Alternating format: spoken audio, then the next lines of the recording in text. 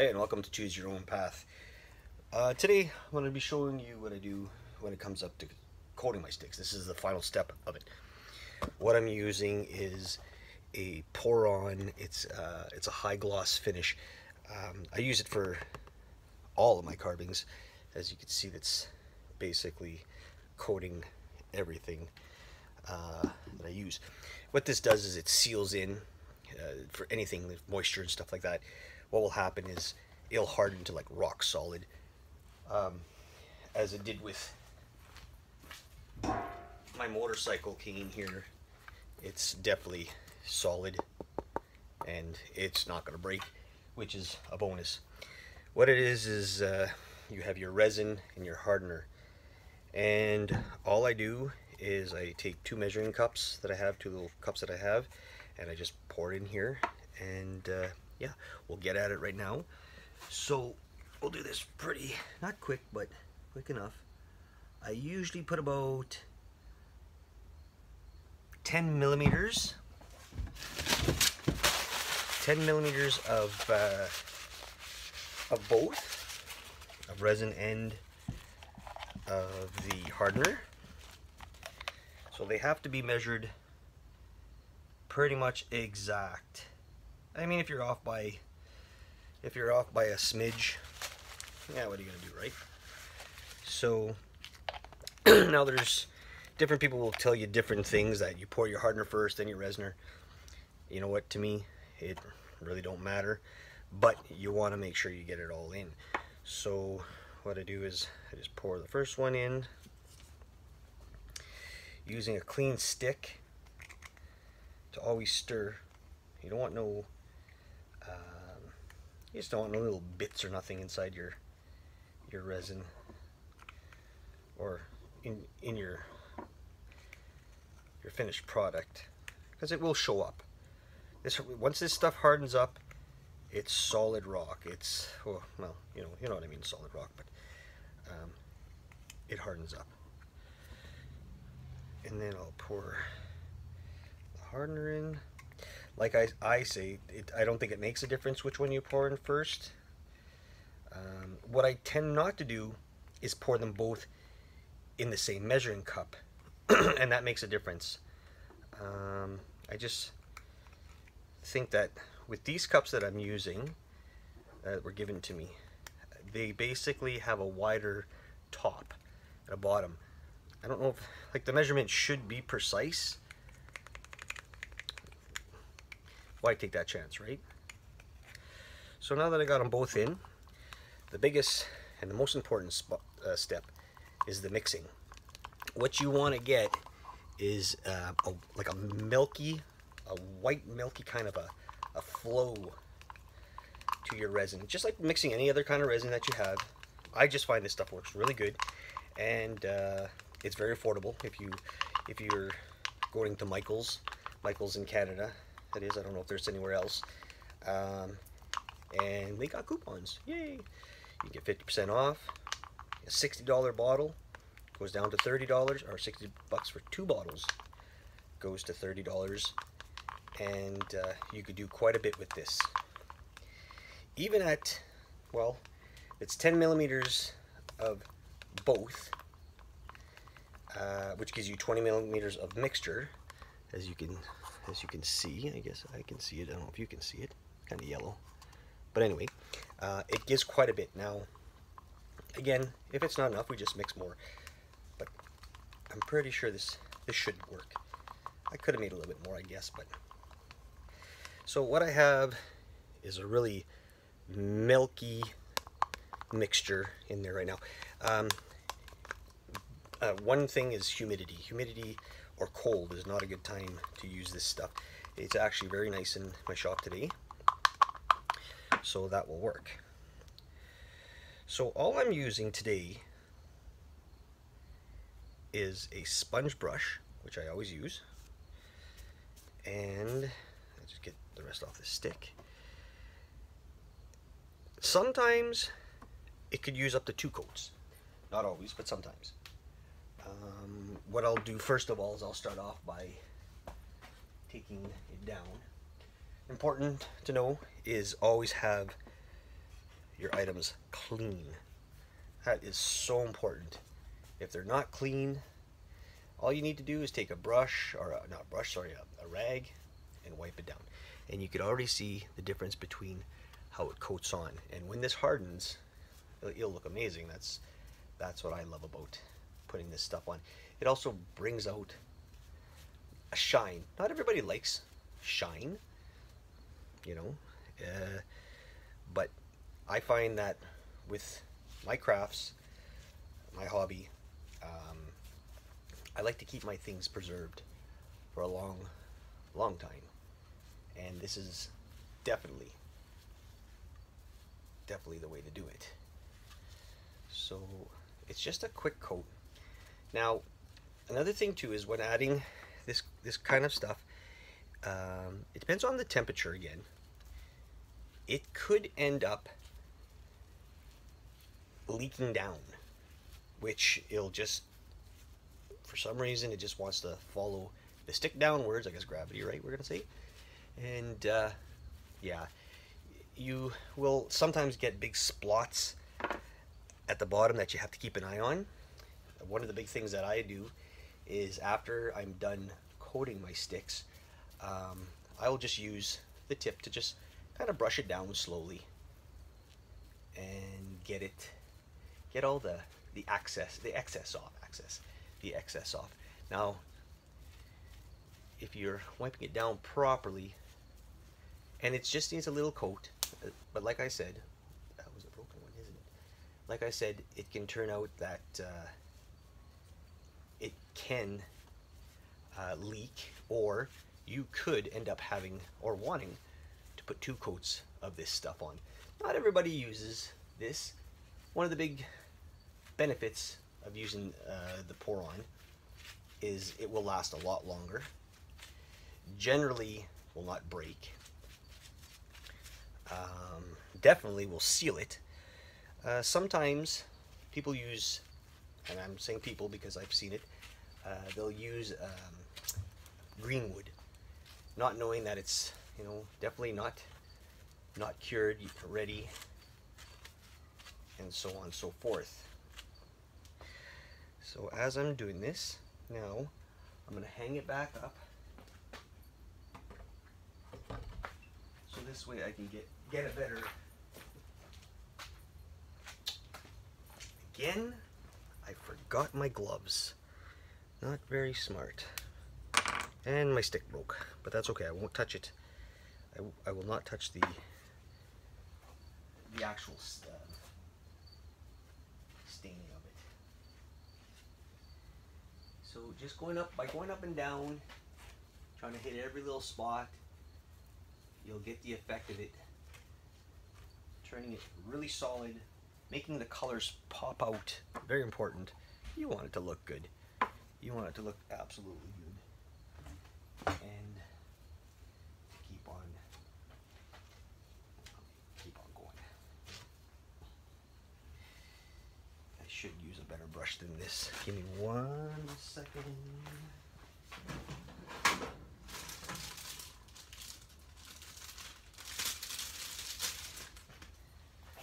Sometimes you have to use a brand new one now I'm seeing that I may not have enough for two, or I may, it all depends on how thick I'm going to add um, the pour on to. The one thing I'd like to do is get a lot inside of this piece here, inside where the snake's uh, more of his belly or slash his stomach is.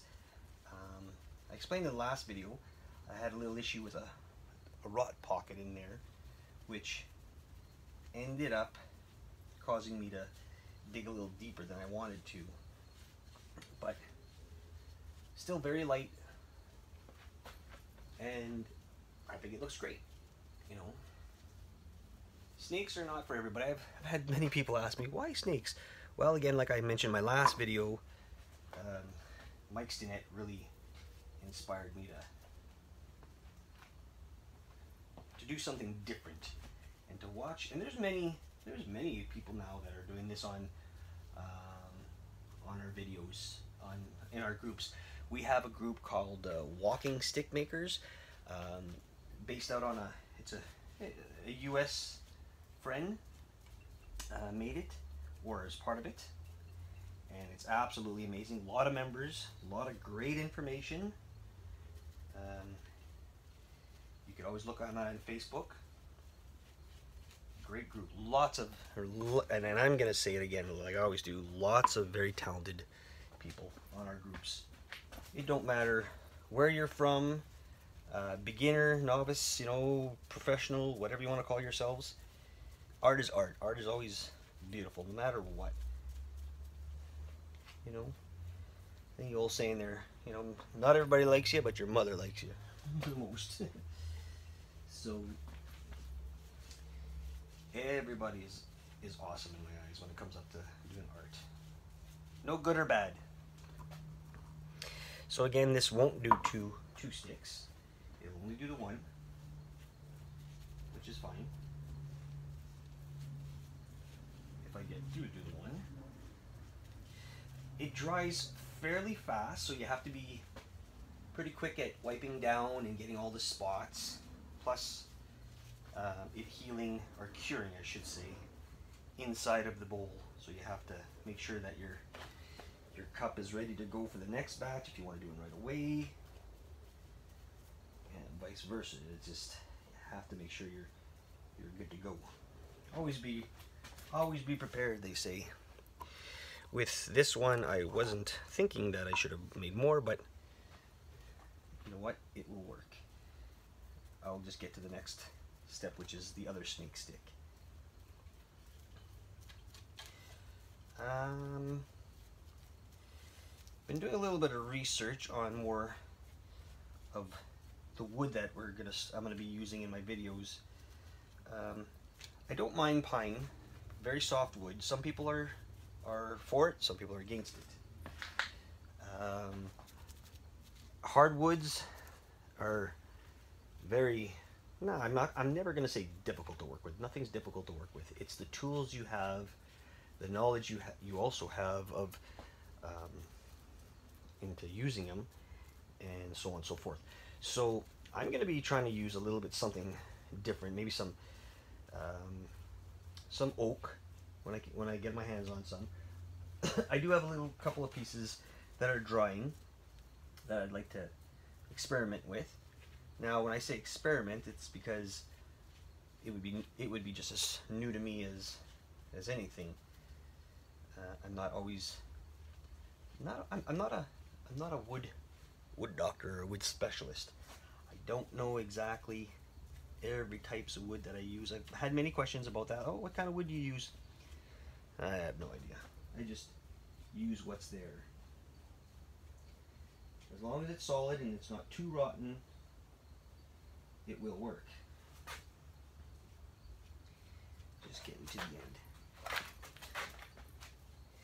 Um, again, safety wise, this stuff is a chemical. Getting it on your skin's not the best for you. Uh, you should always wear gloves. I always say that, but I never seem to wear them. And uh, a mask is very important, but I have my door open here, so meaning that um, I am breathing a lot of fresh air and I'm trying not to get too close to the not too close to the wood itself or to the, the stain. We say practice what you preach and sometimes I just I forget. Or I just not not on the ball since I'm making videos faster. trying to make some videos to get out there for everybody to see. Okay, so I think I got most of it covered with this one. Uh, yes, I'll definitely be putting a second coat on this stick um, just because it has a lot of areas to cover and then go from there. So just as I'm doing that, I'm going to get another couple of cups out. And I am going to do the other one. This one's a little bit, well, I think they're both the same length. So I'm not too concerned about adding more, but I should have at least maybe, maybe I'll add 15 to each one of them. So find the pour line, add 15. Ah, there we go. And just always remember when you're using these things, wipe the bottle. Um, this stuff when it it hardens, it's just it's horrible. It just hardens. You ruin your bottles after. I had one that I couldn't even literally close or basically close it. I had more problems closing it every time. So this application will last for a long time, meaning that like these bottles are I just opened them like this is like the third pour with them, which works perfectly. And it lasts quite a bit of, of uh, use. So that's what we want. We want to keep it, you know, every everybody wants to everybody wants to have a good amount of stuff. You always have to have enough supply on hand when you're doing stuff too, I, I would say. Like, you know, you don't want to have half a bottle and then go through and go, oh crap, now I gotta go to the store and get some more. Well, guess what? You won't have time for that. So always remember to have lots of stuff. And like I said, when this stuff goes on sale at, at uh, Michael's, uh, you know, at your normal $60 a bottle, and if you can use the Michael's coupons for 50% off, well, you're laughing. That's the best of it. Okay, so we're almost done here on this one.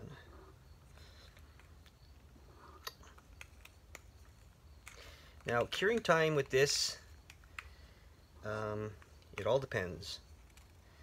On the box, I know it says up to 20 to 24 to 48 hours, depending on you know where it is.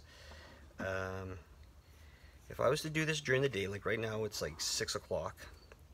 If I was to do this during the day, I'd be able to um, have the doors open and you know three four hours it'll still be tacky but it'll it'll be it'll be there. Uh, otherwise it's uh, it is 24 hours if not longer. Copy. So it is longer. Um, it all depends. I do all my my wood staining and everything outside. I don't, I'm never going to do it inside. So everything's outside, which is the way to do it. You got to have air. You have to, it's, it's got to be able to breathe bubbles. So you've got to be very, very careful with that. Plus, you know, if you have pets, kids, whatever, allergies, not a good thing to do this stuff inside anyway. It always just, it helps to do it outside. Well vented area. So, now I'm just going to get rid of that. All right, here we go again. Now we're going to cover, start with the other stick. And again, same process, I just let it, it on, try to cover everything you can.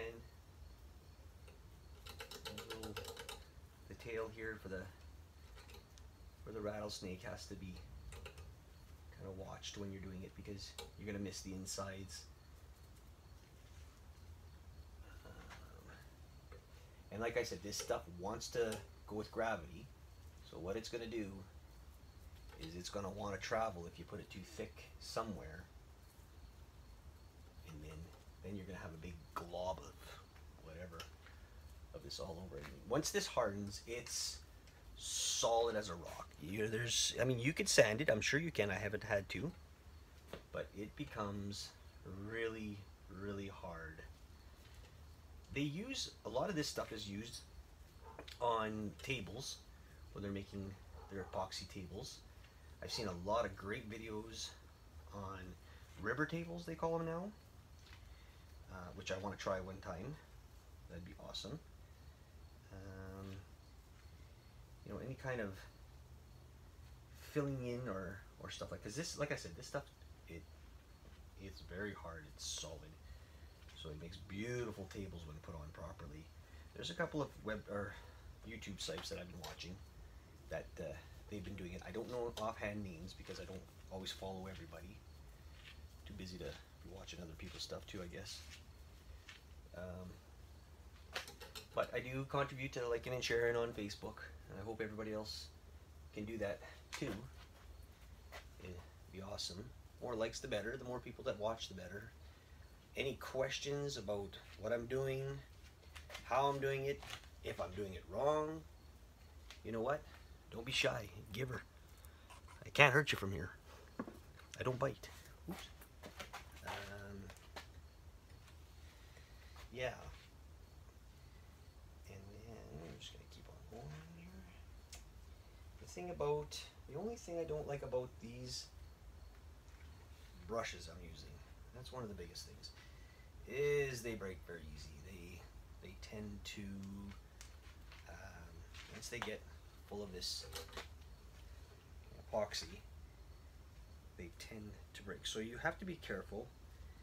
And I guess just in general, you should have more than one on hand. Like I said, just like everything else. So since I broke that last one, and this one's being worn out, I will switch it for another. And unfortunately, it's my last one, but that's okay. You could use any kind of brush. Like, honestly, you could use anything you want. As long as the bristles don't come off on it, uh, I think that's okay. Well, I know that's okay. Um, you definitely don't want something with bristles because then you're gonna be you're gonna be mad. You're gonna be trying to peel off all the all this all the excess stuff, all the bristles and everything, and well, let me tell you, it's I've done it. It's not fun. Okay. So to the. I'm just gonna add some light here so it's better.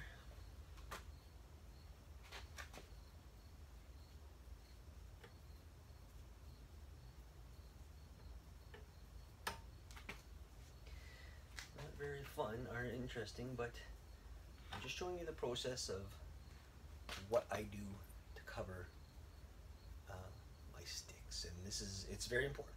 excuse me, very important to me that I do this because, like I said, it it it ensures me that it'll last a lot longer, and it really makes it stand out.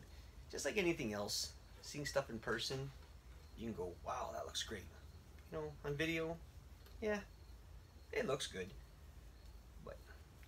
you know definitely want to come and see it in person if you if you wanted one or if you're interested in in knowing how to make one. Um, it's not not too difficult if you have the right tools. One of the tools that I I think I've mentioned this in another video that I will be investing in very soon uh, is the Arbortech mini grinder. Now that would make that would make my life a lot easier, first of all. And a lot faster. Because then we can get things moving a lot faster.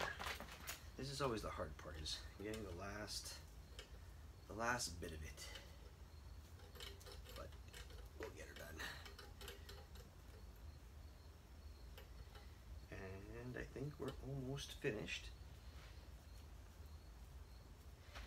I might start trying. Now, I've never done paracord. I've. I'm not a. I'm not. I'm not anywhere near knowing how to do that. Um, I've watched a couple of videos, uh, many videos. A lot of people say it's not as hard as it looks. Other people, you know, tend to say, well, you really got to know what you're doing because it could look like crap, so on and so forth. I tend to learn everything on my own, so I will be trying trying some. Or maybe another good idea would be uh, leather. Having a leather wrap around the handles would be nice. I'm not sure yet. I sure would like to learn how to do some of that stuff and uh, see how, how it looks. I think that's important. Now, okay. So I just gotta. The thing too is when you're doing this, trying to make sure you have proper lighting. Um, just so that you can see, like here, the brush is leaving a little bit of fuzz.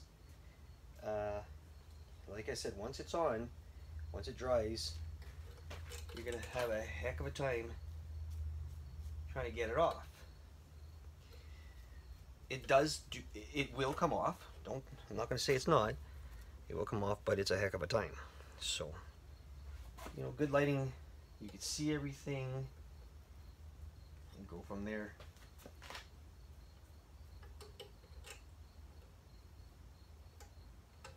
Okay.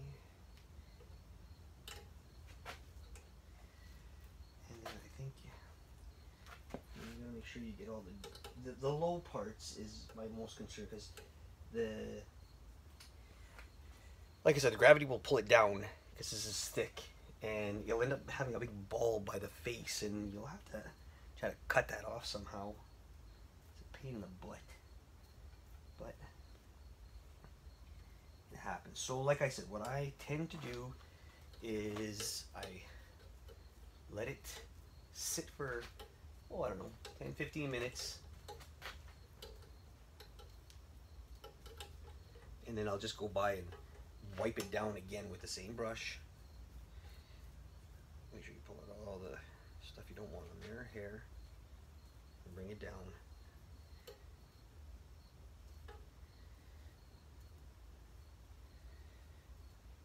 Yeah, see, there we go. That's, I think that's what I want with this. And getting in these, in the tail is important, like I said, around the tail. The mini grinder, I was talking about that. That is an amazing tool. If anybody ever sees videos out, you know, make let, leave a comment on there and see if you ever watch it. Let me know what you think of them. I just think they're it's an amazing, it's an amazing tool because it's got it's got lots of power. It's uh, it's definitely a, a tool to, to cut into. Um, Arbor Arbortech makes a very sturdy tools. I was excuse me.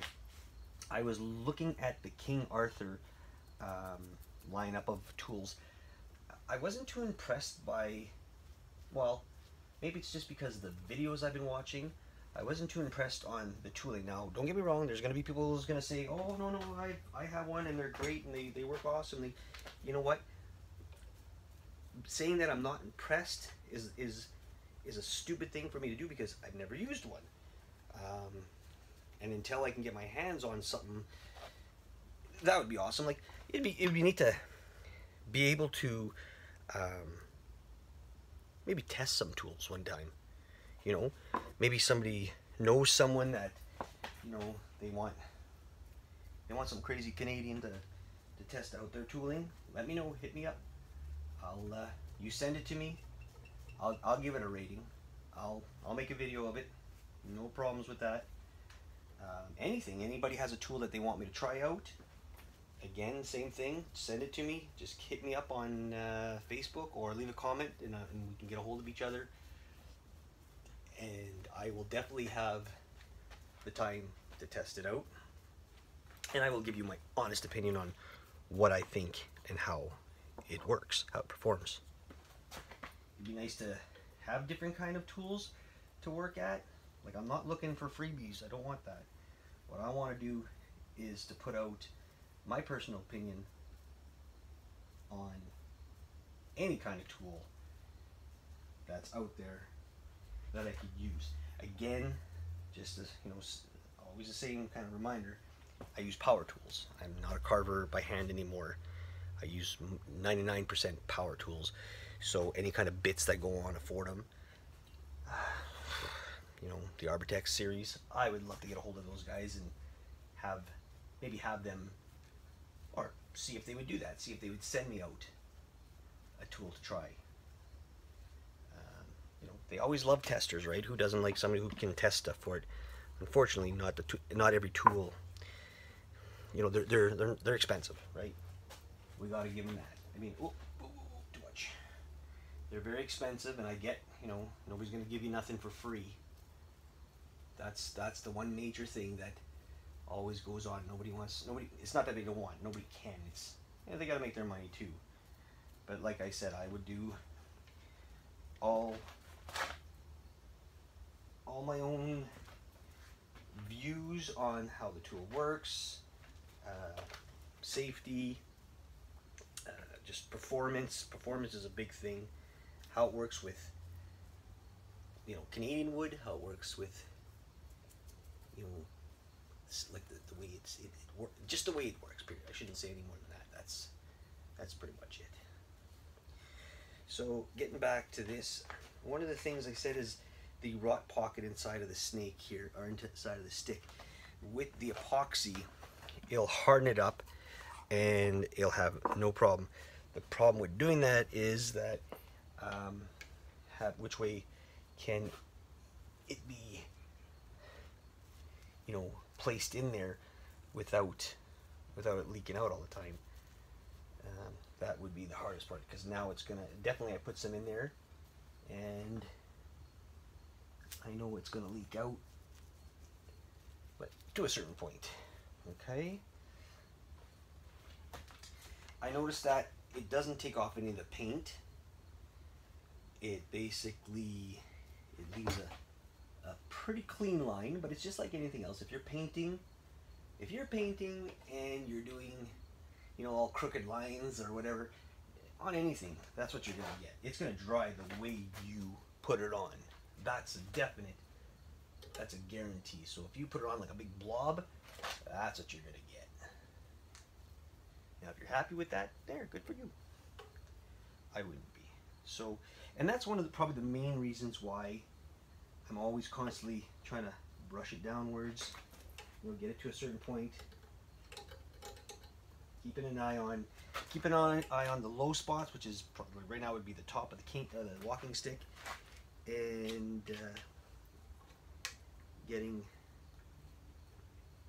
getting all that stuff off so it just just doesn't blob up. I talk a lot, don't I? I'm French.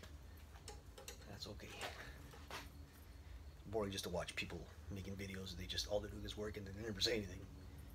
I mean, do I talk to myself a lot? No. But do I talk onto the videos a lot? Yeah. Okay. So that's pretty much. I'm gonna call that covered. I can get back in there a bit more, but I can't. You can see I'm using I'm using a stick to hold it because definitely don't want to get full of resin any more than I have on my fingers. And again, like I said, if this guy needs another coat of resin, I will definitely, definitely put one on. That would work. All right, now it's just gonna dry. That's all I can do. So, thanks for watching like and subscribe. I'd love to have you guys always watching my videos.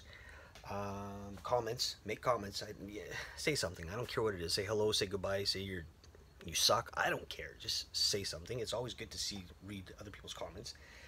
Um, questions, answering, whatever. Go for it. And uh, don't forget, I'm on Facebook. Just look for my name, Richard Vorio. You can type that up and you'll see my group. Or add me as a friend and then we could add you into the groups if you're interested. And uh, yeah, thanks for watching.